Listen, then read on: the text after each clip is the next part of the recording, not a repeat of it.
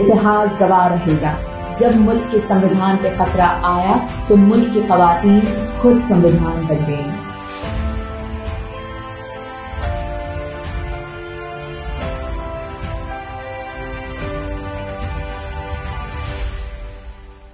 سب سے زیادہ تکلیف اس بھارت میں مہیلاؤں کو ہوگی۔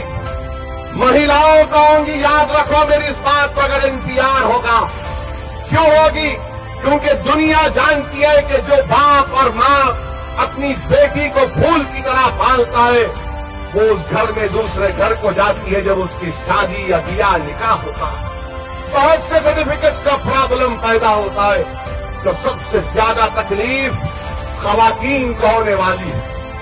ہم حیدرآباد کی خواتین سے۔ سارے homemakers doctors lawyer students teacher سے، ماں بہنوں، دادیوں، نانیوں سے درخواست کرتے ہیں کہ وہ C A A N P R اور این آر سی کے خلاف دو فروری کو دو سے پانچ بجے تک یونائٹڈ مسلم ایکشن کمیٹی کی جانب سے منظم کیے گئے ویمنس پروٹیسٹ کانفرنس میں بڑی تعداد میں حصہ لیں۔